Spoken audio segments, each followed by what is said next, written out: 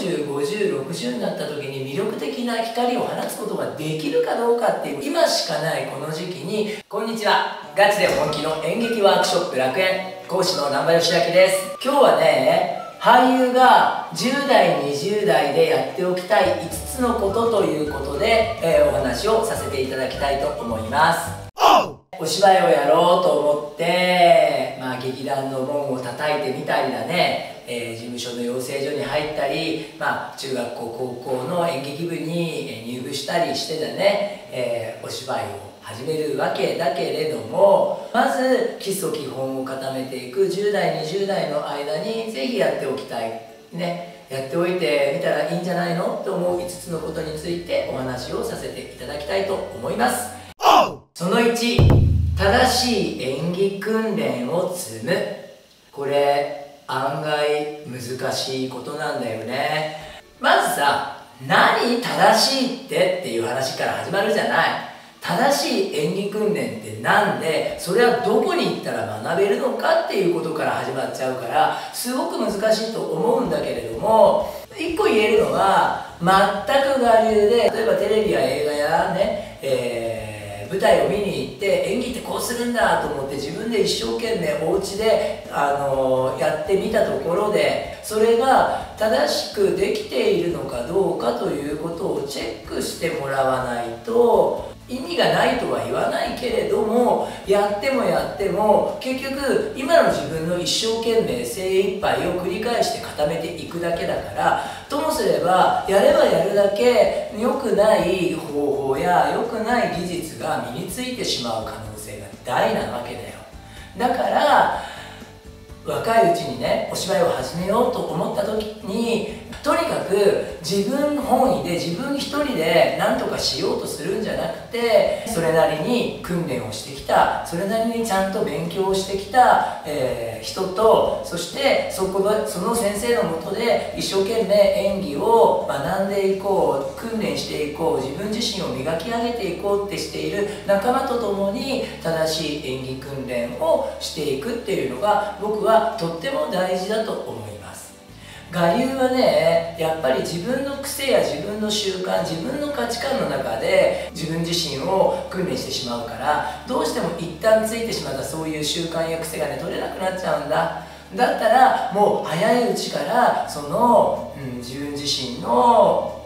習慣癖から自分を解放してあげるっていうことを心がけた方がいいと僕は思います。そして2番目コミュニケーションを学ぶ。演劇って映画でもドラマでももちろん舞台でもそうなんだけど俳優さんがいればできるってもんじゃないんだよね。だけどとかく俳優っていう仕事を目指したり志してしまうしまうと自分で何とかしなきゃいけない自分がちゃんとやれてればそれでいいみたいに考えがちなんだよね。だけど実はそうじゃなくて演技というものはみんなで作っていくわけ。ね、ドラマも映画も舞台もみんなで作っていくんだよね。ね、俳優さん一緒に共演している俳優さん一人一人と、えー、協力し合ってそして自分たちの演技にいろんなこうね効果をつけてくれたりとか自分たちが演技する時に演技しやすいようにっていう準備をしてくれたりとかそういうことをね本当にね親身にやっていただくスタッフさんとかもちろん監督さんや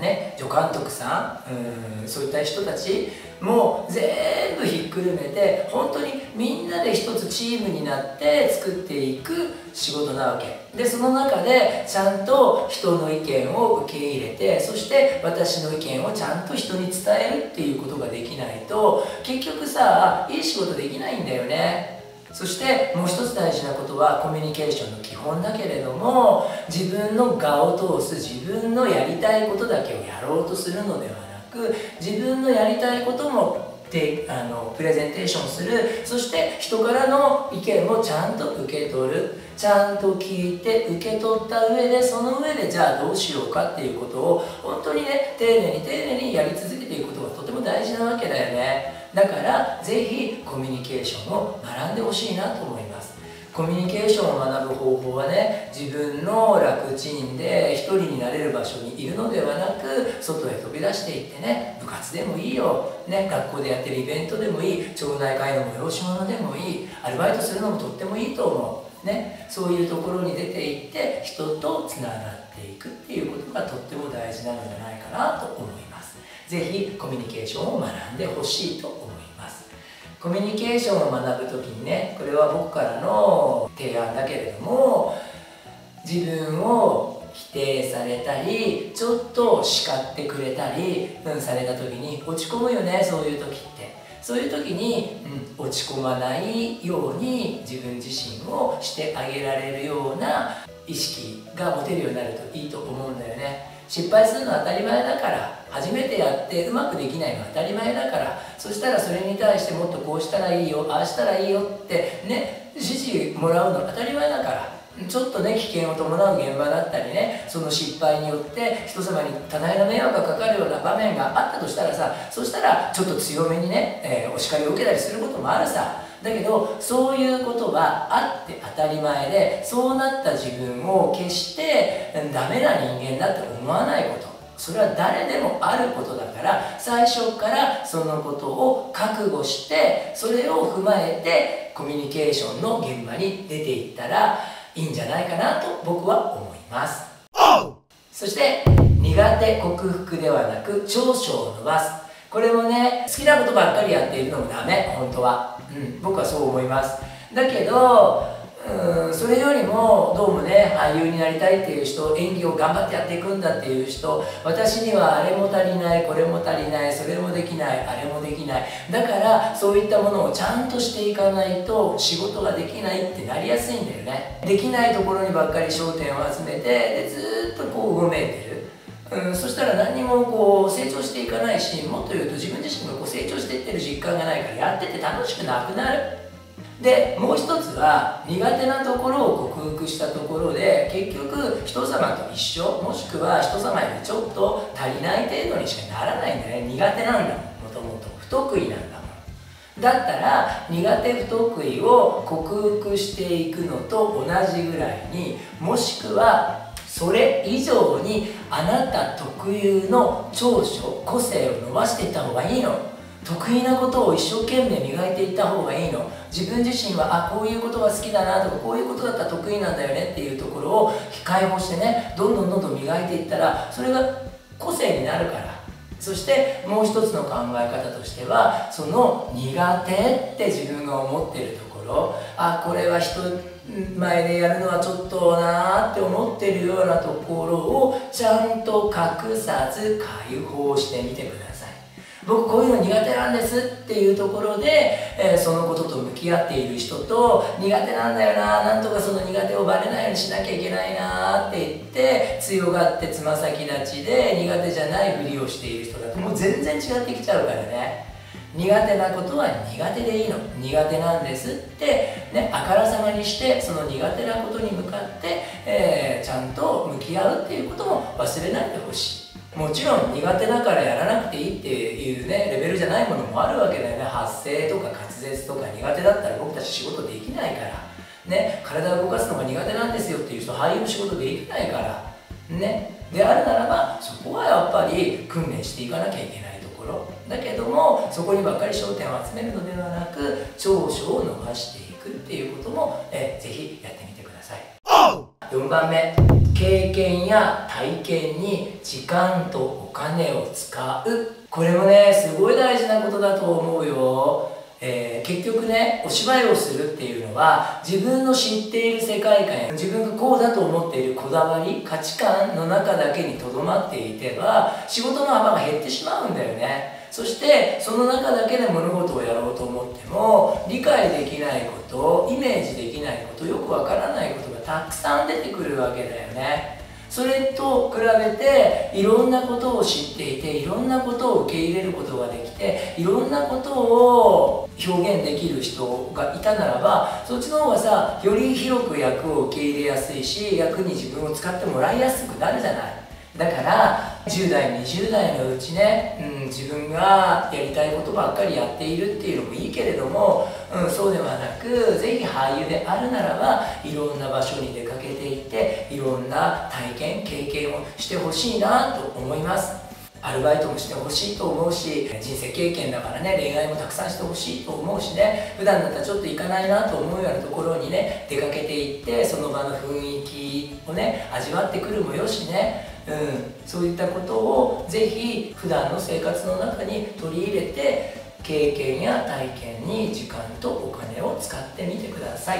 必ずそれが後々自分の、えー、糧になっていきます。豊かでカラフルな心を育むっていうのが俳優の仕事のとっても大事な一つの、えー、ことですからね。是非やってみてください。